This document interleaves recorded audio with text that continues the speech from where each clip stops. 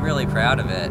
I think it's really well written. Like it sounds much better, more solid, like real good music. And uh, I just feel really good about it. Our debut full length record, Stars Over Somber Skies, will be available November 12th, 2013. Yeah!